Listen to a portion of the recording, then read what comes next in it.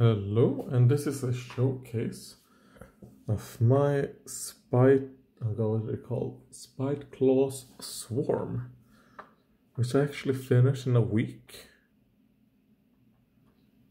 Um, I did a little bit of like extra details here and there for like three days after that, so I guess all in all 10 days. Um, and obviously if I do something like that, can't see them. Oh. Zoom in to see the back. And zoom out. And spin them around again. Um, oh god, let me remove those things from my ear. And let's show them individually. Um, this right here, I don't know what this guy is called, but it's the ninja one. I'm gonna show the three non-characters first, because I think there's two characters. And then there are these guys. You know what? Actually, I'm gonna... Like, I don't want to take out the cards. I'm actually gonna look on the website. Oh, whoops. Yeah, because there is a website. Let's see. I can pause. Okay, so this one is called Festering Skaven. And I want to do like a very simple paint job and I wanted it to look like it's nighttime and they're lurking around on this on like whatever wherever they are lurking around in. I wanted it to be like it is nighttime. So yeah. And then this guy, and he is called Hungering Skaven. So I guess he's a bit hangry, and that's why he's just rushing in the way he is.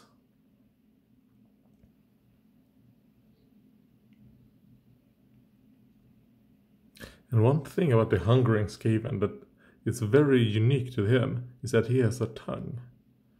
All the other Skaven I think, yes, all of them, other than the first one I showed you, the festering, they all have their mouth open. But this is the only one that has a tongue, which I found weird. But yeah, that's him. I like that he has a little like um two what what what would you call these types of flails? Do they have a special name or is the, or are they just called flail? And here we have the lurking Skaven. Even though I would probably call this one more of a lurking Skaven. Um, because I mean he looks more like a ninja, you know, ninja lurking. And this looks like a mad dasher, but yeah. Yeah, and, and for him I actually added two skulls to his base.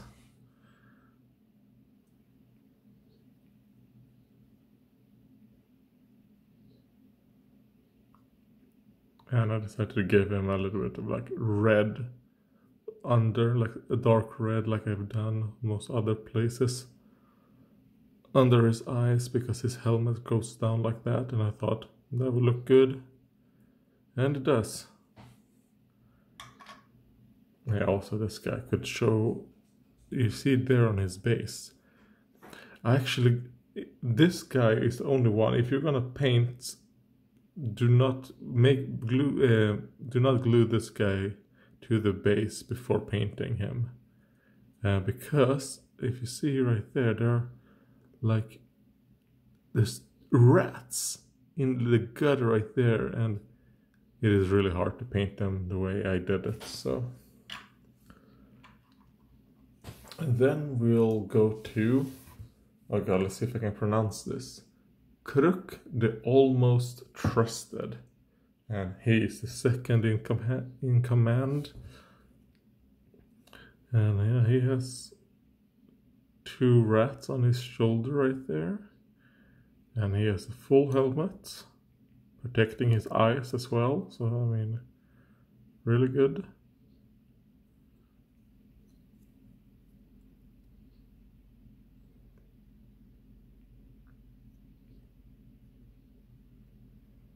Oh yeah, I actually cut myself when cutting bread. I wasn't paying attention and I cut myself while cutting bread with a bread knife. Okay, and here we have, well, obviously his, pro his name is probably Spite something. Skritch Spiteclaw. And the thing that I did to him, I added two skulls right there on the base because this has a little bit of a metal thing that comes out. So I decided, uh, let's stack two skulls. Do something. Because I want to do like something to, to like my my warbands. And yeah, I did at least I put four skulls on these. How many models are there? Five? Yeah. But he, this was actually my most, the, the one that was the most fun to paint out of all this, even though I had a lot of fun painting them. Uh, I mean, I would say this guy was probably my least favorite because of the two rats right there. I had a hard time, like, figuring out how I wanted to paint them and everything, so...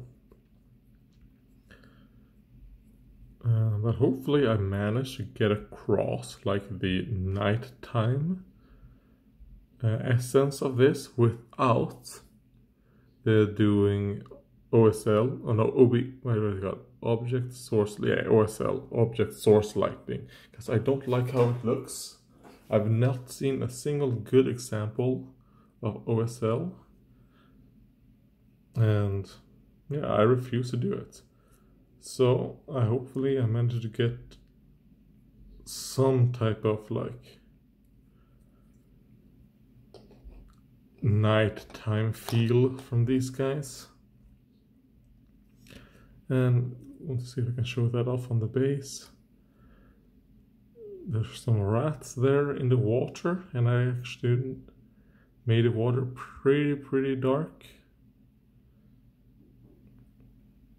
Yeah, I mean, I'm really happy with that, with how they turned out, and it only took a week to do, so win-win.